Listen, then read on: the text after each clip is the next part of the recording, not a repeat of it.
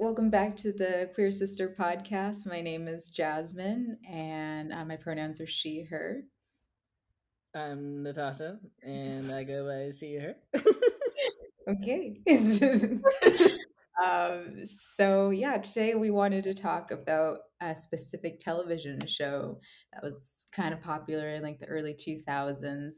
I I wanted to bring it up because there are a lot of other shows out there that I think has helped queer people of a certain generation sort of like help identify themselves or help um, just discover more things about themselves. So, what does that show, Natasha? um, to be to be quite honest, I'm like now I'm like thinking about this topic that we're you know we're talking about. Did you even watch the show, or no. is it we, based off of my own knowledge? At this point, I feel like this show is just you to prompt something and then for me to talk. Okay, no. Here's if the thing. If so, the audience is fine with, I'm, I don't need to be yelling into the. I'm sorry. If the audience is fine with it, that's great. But I don't want to be the person who they think like, oh, this girl is just talking and talking. But I love to talk. So if you give me, if you give me the chance, I'll talk. But anyway, so I want I want to preference that there are shows out there that I have watched through you. You will watch a show and then uh, will sort of like tell me like the parts that I've missed. So I'll watch like that's now. This show was when you were in high school. I've always done that though. So I would like you know even when uh, like you, you were in your emo days. I don't think we were talking much. I don't think we are talking about. the show started. I looked at the show started in 2005, so you were already in high school. I mm-hmm. was, uh, I guess what is it? When did it start? Uh, you were junior high, right? So it was. It was started when I was in sixth grade because it was November of mm-hmm. 2005. So I was in sixth grade, and it ended at the end of 2008. So throughout my whole junior high experience was this show. The show we're talking about today is South of Nowhere. Now, if you were are if you're a millennial, like a young millennial, or uh, one of the that that mid Gen Z millennial section, and you're queer, you watch South of Nowhere, unless you didn't have cable. But South of Nowhere is a show that was on. It started off on Noggin. Um, I don't know if it was there when it turned into The N. I think that it was The N was at the very very end of it, but it was Noggin. Um, was it a Canadian show? No, it's Amer- it's American show. Um, pretty yeah. much everything on there was Canadian. That's what I thought. Anyways, and it was one of those shows. It was before its time. Now I I haven't watched it in a long time, so I can't really say like, oh, this is good representation. Like they weren't problematic, like the L word. You know, you look back and you're like, oh, this is kind of problematic. So I can't really tell you about that. So I'm not going to say it's great representation, but at the time it was great res- representation because um, way before its way before its time. 2005 think about 2005 and it's not a side character who's gay who come who's coming out or has a one episode arc. You know it wasn't that. It was the main girl and the first episode. She's already having like some like weird feelings for this like not weird but you know i mean? Having these strange feelings that she's never felt before for this girl that she's just met. That's like the you know the troublemaker girl that has talked about being with gr- other girls. Like it was the main character and the other main character. Like if you think about it, a lot. Like I can't think of a lot of shows that pass the um, Bechdel test. Bechdel test. I was about to say the Kinsey mm-hmm. scale, but the Bechdel test. Um, that's the next. Or that's another episode we talk about. But anyways, the Bechdel test, like where that there's two women or all women in a in a scene that are not talking about men and that show a lot of the times passes it because they're like talking about each other like they the mm-hmm. two main characters get together. That's like spoiler alert but it's over a course of three seasons they get together and out you know whatever. I recommend you watch it um for some 2015 i mean 2005 was that mm-hmm. 16 years ago?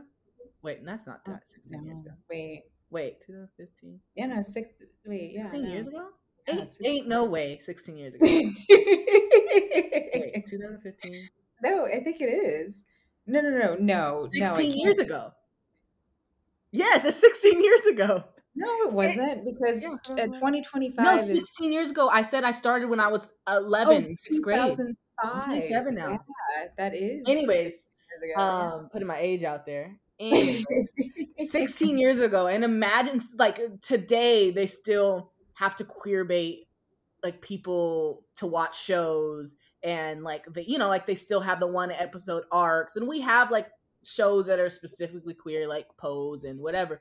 But um, this was in 2005 and they and one thing i like about south of nowhere if you look into like if you they they've gone to like comic cons and stuff since then since the show was over and they've talked about how they fought for a lot of the scenes like the kiss scene like that was like too racy for the channel so they fought for the kiss scene they fought for like it wasn't like a sex scene but like I don't really actually I don't really remember if there's a sex scene. But like you know, like they could show a man and a woman doing that. So it was like it's it was they really really fought for everything on that show and um it was a pinnacle staple for my junior high experience. Even though like you got to like know that in that time I was so deep in the closet I didn't know I was in the closet. Like I watched it okay, so the premise of the show, there's like three people, main people. The main girl that moves to LA, her family moves to LA.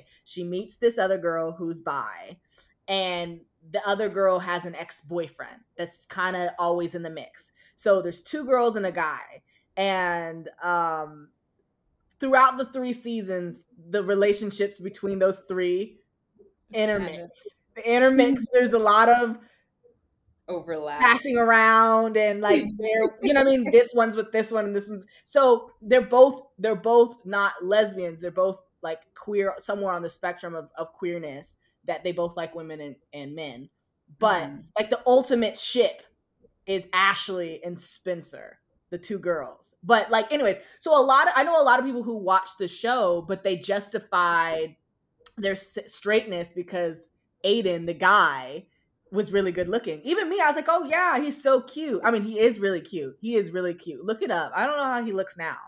But fun fact, the main girl and the main guy are married in real life and have kids. Hmm. And they're still friends with the other girl. But anyways, I don't know where I'm going with this. Um, I didn't really think this through. But it's it's one of those it's one of those things that's like it was necessary for these new shows to come out. Like mm-hmm. it was scandalous to have these two girls kissing and they barely showed it. I don't even think it was like the back of her head or her hand was covering the, the kiss, but it was just like I didn't know how monumental it was until you look back and you're like, oh shoot, that like yeah. they really did something. Like I know, remember at the time it came, it coming out, like it was one of those shows that was like, oh, like that's for you know older teens, and yeah, but content was the con but it's not for the queerness it was just for the content of it. It, it was for the content um it, it was a little bit more on the adult side just because it's dealing with like you know more complex relationships you know and ro- romantic relationships that like most, not just that know, there was school shooting teen pregnancy drug addiction to um pain pain pills yeah. um i think i don't know if he got into a gang i don't think he got into a gang but he was he was he was strung out for a while um, um, father died. I don't know if there was any kind of trigger warning. I don't know if there was any self harm, but I think there was later seasons. There was a lot of stuff. It literally was the the queer focus Degrassi is what okay. I was saying because I loved Degrassi at the time. At that time, Degrassi was still up there, and I would watch South of Nowhere because it was the same channel. But South of Nowhere was focused more on you know, oh, and there was adoption. They adopted a black boy. So there was a lot of different things. Um, yeah. A lot of different storylines that were very like uh important. Like I think that they were just like ahead of its time. And I wish that there was a show like that now. Not that like not saying that we need it, but because now they have the freedom to put those things out without all the restriction that they had. Like at the time that I, I, I think that it came out like there was you know back in the 90s it was you know kids shows and then there was like the adult stuff. There wasn't really anything i mean there was a couple different shows for teens but i feel like it didn't really dive into like teen issues and not in like a kiddish way mm-hmm. until like the early 2000s like that's when you really started to like touch on things so like you know technically really the degrassi junior high Oh well, really, Canada was yeah, doing it before we right. all was doing it. Canada has been doing it. I mean, that's not true. Actually, we had 90210. That stuff was like real, real heavy. Yeah. Started off with the 80s and 90s of like no 90210, Melrose Place, and stuff like that. But it wasn't queer focused. Is what I'm saying. That's None of that stuff was queer focused. Like Degrassi had queer characters, but I felt like I almost forgot those storylines because it was so like glossed over, and all of a sudden, mm-hmm. like it, some of them weren't talked about anymore.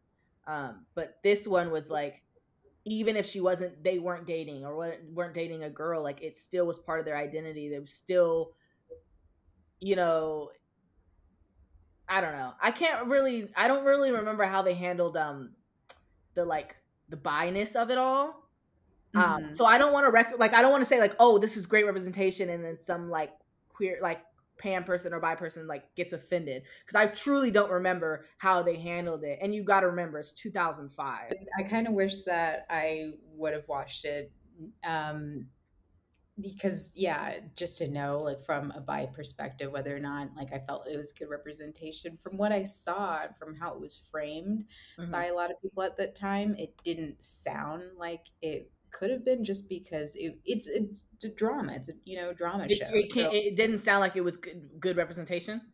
It, it didn't sound that way. Only be, it was it was good for drama, but because mm-hmm. there's not a lot of representation out there that's solid that shows healthy bisexual relationships where the you know multiple people or one person's proudly bisexual like they didn't have that mm-hmm. already mm-hmm. so they couldn't you know play around with the the more dramatic stuff so a lot of people's first encounter with bisexuality was this scandalous you know like not really uh because it's really all about consent and communication. And from what i'm gathering even in you know hindsight like from you thinking about it um like i'm sure that there was like a lot more miscommunication not like a i healthy- there was like actually i don't know if there was cheating. I have to go and watch this well, you didn't you did mention cheating. No but i think it was the parents but that's one of the biggest concerns like with bisexuality that like mm-hmm. the bisexual person is going to cheat so for something for a show that's so dramatic that's going to touch on those common soap opera things mm-hmm. it's going to play into a stereotype that you know but don't you want to get to a point where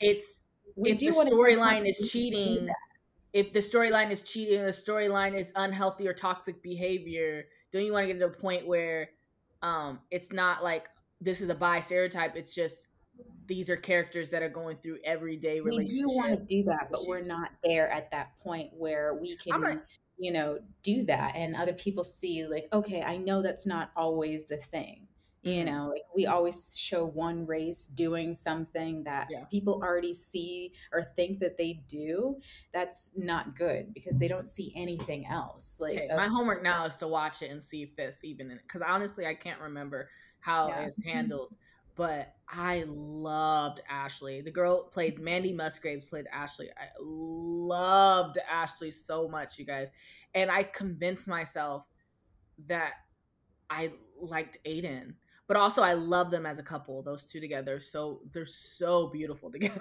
like they're so like just a beautiful couple. You know what I'm saying? But I mm-hmm. loved Ashley, her character, and Mandy, like the the the actress. But just mm-hmm. like I don't know, just like great allies because they go, they still go like the Comic Cons, like still like the show's been over. Like they went and they did like this, um, they fundraised for like a, um, like a musical movie. It had nothing to do with the show, but it was still those two, the two main girls in it. Like, and they like they still do a bunch of different things in the like community. Um, I don't really know how they identify, but um, but just the I fact think, that they're yeah supportive of like yeah. just there's there's certain people who I feel like they do it and they're like, okay, I don't want to be typecasted in that, and they like get out. Like they don't want anything to do with that. Like I feel like a Katherine Heigl, like she wouldn't want to be painted as a, a queer movie actress. You know what I mean? Like since she did that, like that that I still couldn't watch that movie she was in. What is it called? I don't even know what you're talking about. The one with her and Alexis Bledel. Like she's getting married, and I didn't watch it, but people described it to me. She was getting married. Maybe we could talk about this later. She was getting married and like soon, and she didn't tell her parents that she was getting married to a girl. Oh, that's awesome. So the whole movie is them like being like slightly. I don't know if it's slightly or homophobic or like really like upset. But the whole point is like, yeah, I would be upset not because you're gay, but like, why haven't you told us? Like, yeah. literally, the wedding is like in a month or something. I don't know. It's like it was really soon, and I guess in the movie, like there's no chemistry between her and Alexis Bledel, which and we know Alexis Bledel can play a gay character. We know mm-hmm. it in um Handmaid's Tale. That girl can play a gay character. If you don't remember who Alexis Bledel is, it's um, um Rory from, Rory uh, from Gilmore Girls. But anyways, so I guess they like had no chemistry and like they shared one kiss at the end. Like they barely like interacted like romantically. It just was like more of the family's reaction to them finding out she was gay. Hmm. I don't know. So, anyways, like you know, she doesn't want to be tied. I feel like she. I don't know if she regrets that, but like, wasn't a good movie. I don't think her whole heart was in that because uh, Katherine Heigl could act. So yeah. I don't know why she was doing that. But anyways, but like you know, people who who really care about the craft, like a Rachel, what's her name, Rachel Weisz, mm-hmm. um, um, like a Cate Blanchett um who's another one that um presents himself as straight. I don't know what their identity is, but like yeah. do a gay character well. What's the other girl's name? Oh, uh, I can't think of her name. I don't know why I want to say Deborah Messing, but it's not Deborah Messing. She's in that. Uh, the kids is all right. She's always in all those movies. I know you're talking about. What's um, her name? I forgot her name. Does her name start with an R? I couldn't tell I you. have my phone. Um, Oh. I, I, can see the cover of the the movie, yeah. them on the, the bed or, or was the couch or the bed or whatever, like cuddling.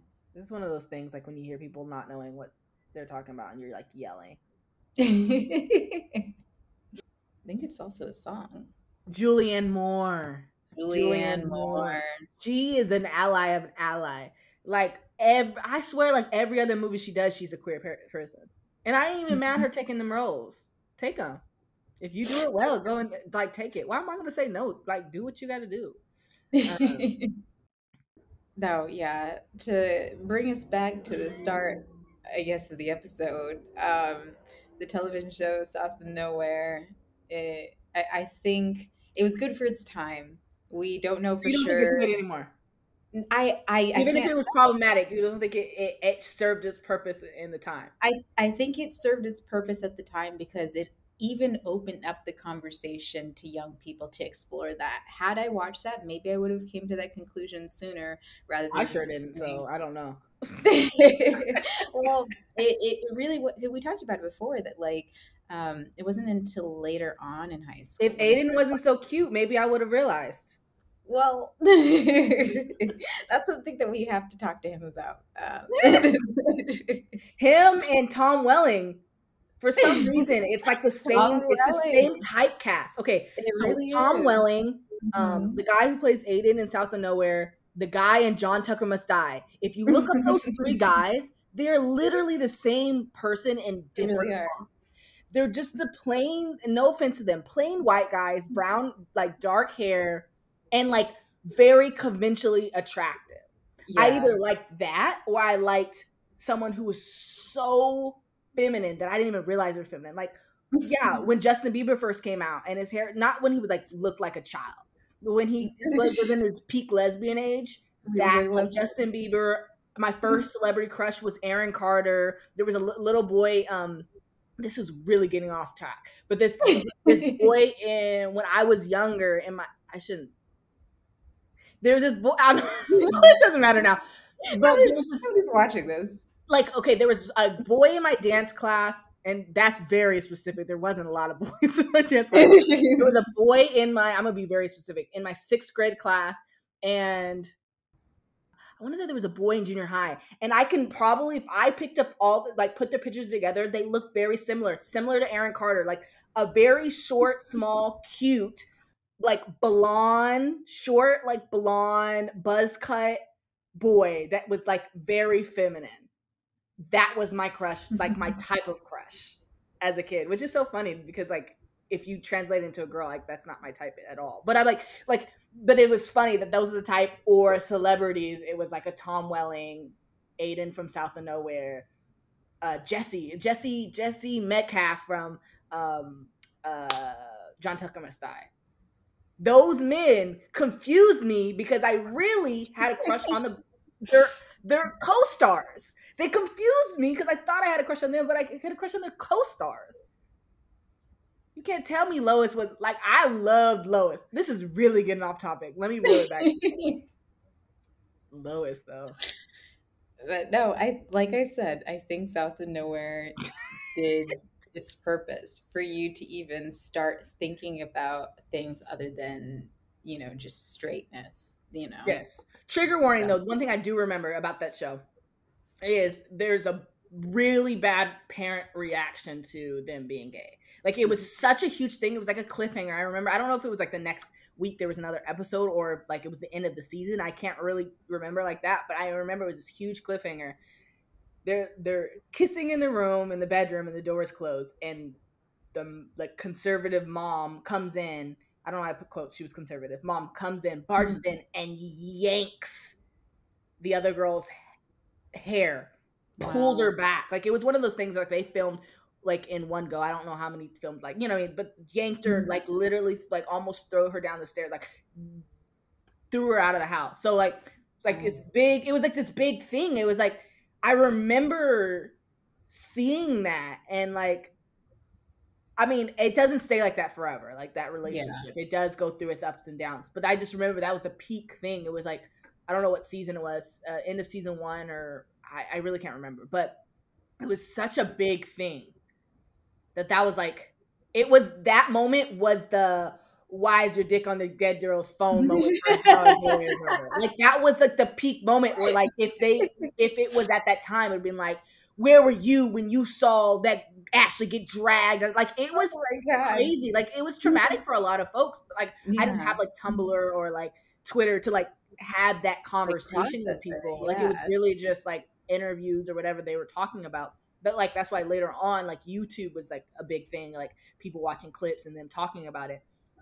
But like that was like it was huge thing. Like there was things that you just didn't talk about. Like they're in la and they're more cons- like more liberal area and they're from like i think they were from ohio or something or from somewhere like that. So they moved to la and then you know her daughter was supposed to be this straight girl, and all of a sudden she meets this girl, this LA girl, and like LA. you know she goes to LA and meets an LA girl, and like all of a sudden she's making out with her. Like so she's like you know what I mean like.